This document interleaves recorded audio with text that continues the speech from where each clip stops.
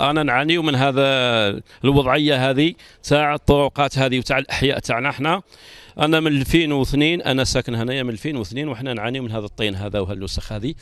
وجا واحد الوقت جاوا باش يخدموا لنا الحي هذا وعدونا وقالوا لنا بلي نخدموه لكم. وما خدموه لناش. من بعد ما على باليش أنايا خدموا أحياء اللي حذانا إحنا وتاعنا حنايا ما خدموه لناش. وراهم يشوفوا في الحالة تاعنا المزدهره في الحي هذا.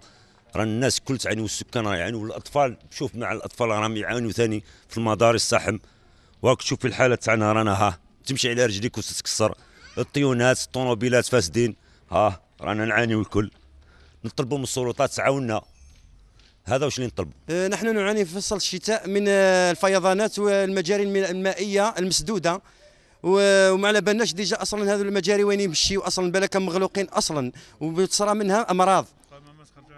والقمامة ثاني ما, ما عندنا ما عندنا في في كل في كل بلاصة تلقى قمامة منبعثره الشاحنه ما تخش الشاحنه ما تدخلش ما, تدخل ما تدخلش بها تهز القمامة. الحي هذا القديم الذي يدعى أنه فيما يسمى بالمدينة الجديدة في قلب فرجوة تتصورون حيا في قلب مدينة كبيرة ما زال الآن يطالب منذ 14 سنة وهو يطالب بالطريق. خدموا لنا الطريق. لدي سؤال.